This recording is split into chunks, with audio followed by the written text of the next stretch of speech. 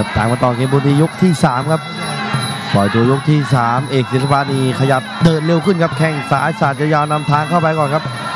ขณะที่เทวดาเล็กครับยังคงตั้งรับจังหวะ2ครับมีหมัดซ้ายคอยสกัดการเดินของเอกศิลปะครับเหนียบซ้ายยาวๆ แข้งขวาเติมเข้าไปอุ้ยแต่ว่าโดนหมัดซ้ายไปเหมือนกันครับ แต่ว่ายังโดนไม่เต็มแรงครับโอ้ยแข้งขวาขึ้นบนซ้ายขึ้นมายังติดบังครับ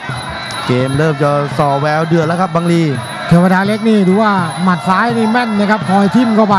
เอาต้องเริ่มเกมแล้วเอกศิลปะขยับเข้าหา โอ้ดูว่าเกมการชกนี่จะชิงจังหวะกันออกสาดแข้งต่อยหมัดเลยครับคู่นี้ขยับเอาซ้ายเริ่มจะทำงานหรือเปล่าเทวดาเล็กนี่มีตีนขวานะครับ คอยสกัดเอาไว้แล้วก็มีหมัดคอยบวกอยู่ตลอดเหมือนกัน เกมการชกยังถือว่ายังคู่ขี้สูสีแล้วครับ อีกคนนึงก็ขวาหน้าครับ อีกคนหนึ่งซ้ายหลังครับสับเลยครับ จังหวะนี้ครับชี้อะไรหรือเปล่าครับ มีแผลหรือยังครับ แข้งขวาครับ เอกศิลปะโต้คืนด้วยขวาแข้งซ้ายของเอกศิลปะครับ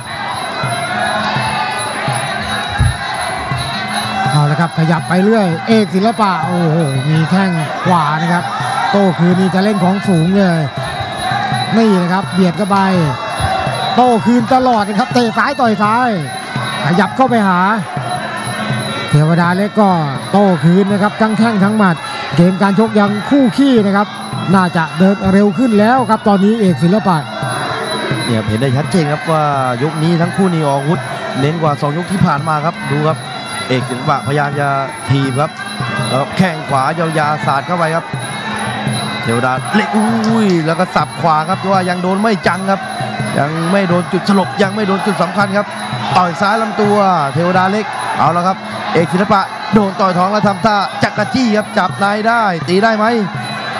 ล็อกแต่งตัวนานไปนิดครับกรรมการเบรกเกมแล้วก็แยกทั้งคู่ลากออกมากลางเวทีครับ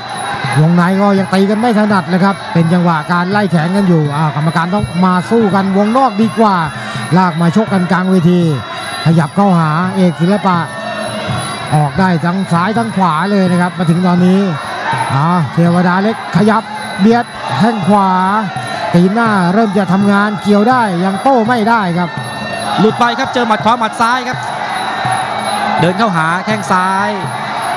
เทวดาเล็ก เอกศิลปะขยับเข้ามาแข้งขวาครับหัวดเข้าไป ขยับมาขวาอีกทีครับ เทวดาเล็กนี่ดูว่าจะต่อยหมัดน่ากลัวนะครับ เริ่มจะเดินขยับต่อยหมัดได้ดี โอ้ดูว่าเอกศิลปะไปชกในเกมตั้งรับเอาละครับ เดี๋ยวพักกันสักครู่เดี๋ยวมาตามกันต่อครับ ตัวเก่าแล้ว เทวดาเล็กมีหมัดมีศอกมาด้วยนะดูเอกศิลปะมีแข้งนี่คอยสกัดเอาไว้ แต่ว่าจะไปยืนรับเยอะๆไม่ได้ ดูว่าอาวุธของเทวดาเล็กนี่ก็หนักทั้งแข้งทั้งหมัดเหมือนกัน แต่ต้องทำให้ต่อเนื่องครับ นี่ครับพยายามจะเดินเบียดบ้างครับทางด้านเทวดาเล็กเนี่ยหมัดซ้ายจิ้มเข้าไปครับ โดนหน้าสั่นไปเหมือนกันครับด้านเอกศิลปะดูครับ แข้งขวาไปครับ ยังชิงจังหวะกันอยู่ครับ เดินต่อครับแข้งขวาเกี่ยวแล้วโต้ขวาคืนซ้ายเติมเข้าไปอีกทีครับยังติดบังซ้ายไม่ถึงครับโดนต่อยหมัด1นสองครับ ที่สำคัญครับเทวดาเล็กนี่มีหมัด1นสอง ที่อันตรายครับแต่ว่าดังต่อยไม่โดนถนัดถนัดครับแต่ว่าโดนแข้งซ้ายลูกนี้ครับถึงกับเอียงครับยกนี้ดูว่าจะแรงขึ้นมาแล้วนะครับ เทวดาเล็กออกแข้งต่อยหมัด แต่ถ้าหลุดเมื่อไหร่นี่โอ้โหโดนโต้คืนเนื้อเนื้อเหมือนกันเอาขยับเข้าไปต้องเบียดเข้าไป เดินให้เร็วกว่านี้นะครับไปปล่อยให้เอกศิลปะนี่เล่นฝีมือนี่ โอ้โหแล้วว่าแข้งเขาก็แม่นครับ ดักเสียบขวาครับ เข่าของเอกศิลปะนะครับหมัดขวาครับ ต่อยเข้าไปเต็มหน้าเลยเดินขยับเข้าหาครับเทวดาเล็กแทงเข่าขวามาเอกศิลปะครับถีบเอาไว้เทวดาเล็กเลินครับหมัดขวาหมัดซ้ายแข้งซ้ายโต้คืนด้วยแข้งซ้ายสุดท้ายหลุดไปครับเนี่ยพยายามจะเดินต่อยซ้ายเตะซ้ายอัดเข้าไปครับทางด้านเทวดาเล็กก็ดูการจับในของเอกศิลปะครับเด้งเข่าขวาอัดเข้าไปครับจังหวะสุดท้ายครับการลากออกมาอีกครั้งครับแล้วก็คงเดินต่อเนื่องครับทางด้านเทวดาเล็ก พยายามจะเบียดเข้าไปวางแข้งซ้ายยังติดบังแข้งขวาขึ้นมาครับดูว่าจังหวะออกแข้งแล้วก็ปล้ำในนะครับทำได้ดี เอกศิลปะโอ้จะช้าลงไปเลยนะครับเทวดาเล็ก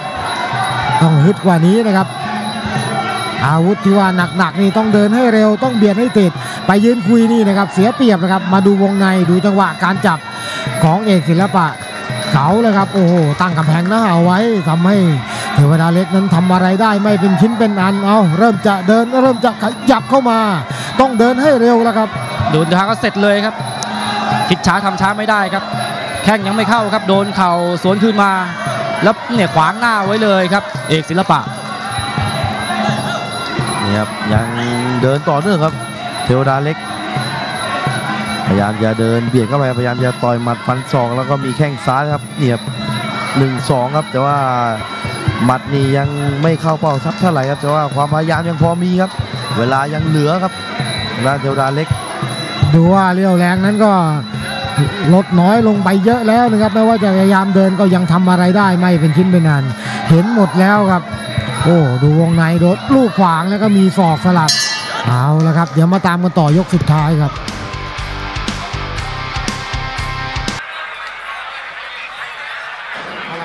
มาตามกันต่อยกสุดท้ายนะครับในช่วงพักยกนี่ทีมงานของเทวดาเล็กนี่สั่งเดินต่อยมัดฟันศอกอย่างเดียวแล้วนะครับดูว่าจะทำได้ตามที่ทีมงานสั่งหรือเปล่า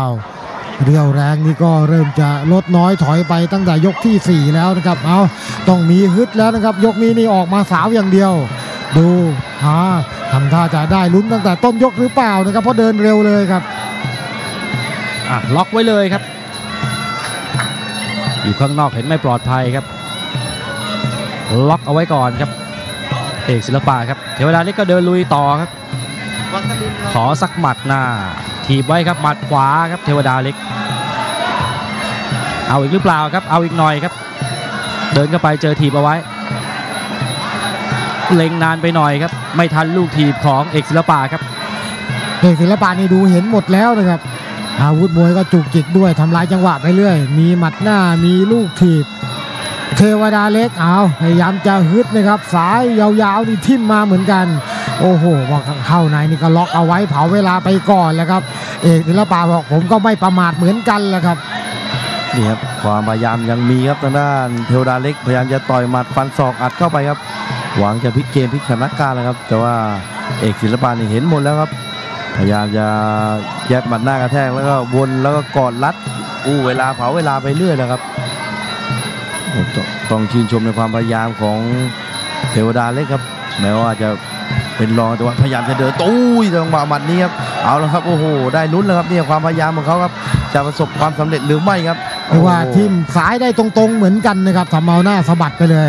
แต่ว่าต้องทำให้ต่อเนื่องเอาทีมงานก็บอกให้เร็วให้เร่งเวลายังเหลืออีกหนึ่งนาทีนะครับให้เทวดาเล็กนี่ได้ลุ้น แต่พอเข้ามานี่ก็โดนล็อกเอาไว้ เอกศิลปะชกละเอียดด้วยนะครับ ไม่ประมาทนะครับ อะเดินขยับเข้าหาครับ ต่อยได้ไม่ได้ครับ ยังไม่เข้าเป้าครับหมัดขวาหมัดซ้ายก็อืมอ่าบิดมาเหลี่ยมนี้ครับ เดินลุยต่อครับหมัดซ้ายเข้าไปครับ เจอหมัดขวาโต้ขึ้นมาเหมือนกันครับอ้าวเสียงเฮเสียงฮาเริ่มจะดังขึ้นมานะครับ กองเชียร์ของฝั่งเทวดาเล็กครับเรียกว่าไม่ยอมนะครับ ไม่ยอมไม่ง่ายยังมีลุ้นอีกครึ่งนาที โอ้โหพยายามเดินสาวหมัดนะครับต่อยหมัดฟันศอกเป็นการใหญ่ ต้องล็อกเอาไว้ก่อนแล้วครับ เอกศิลปะเอาเวลายังเหลือนะครับไม่ยอมเบียดเข้าไปตีเลยครับ โอ้โหทิ้งนี่ทิ้งทั้งตัวโดนล็อกแล้วก็หักเททิ้งลงไปอีกครับนี่ครับยังไม่ละความพยายามครับ เทวดาเลยโอ้ยหมัดสารนี้ครับหน้าหงายครับ อีก 10 กว่าวิครับ จะแซงได้หรือไม่ครับเทวดาเล็ก พยายามจะนี่ครับขวาล้วงเข้าไปครับโดนบวกขวาขวาครับโอ้โหได้เสียวเลยครับ ช่วงปลายปลายๆตรงนี้ของเทวดาเล็กครับอ่าแล้วก็หมดยกสุดท้ายครับเรียกว่าเล่นเอาเสียวไปเหมือนกันนะครับในช่วงปลายยก เดี๋ยวเรามาดูการตัดสินอย่างเป็นทางการจากกรรมการทั้ง 3 ท่านครับ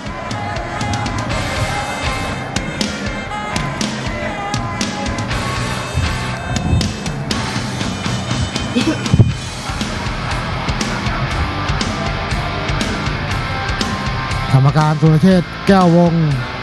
รวมมานานแล้วก็หันมาชูมือให้เอกศิลปะสิทธิ์เชียงรุ้งนะครับ เป็นฝ่ายชนะคะแนนมาอย่างสนุกขาดลอยท้ายๆ มีเสียวเล็กน้อยครับ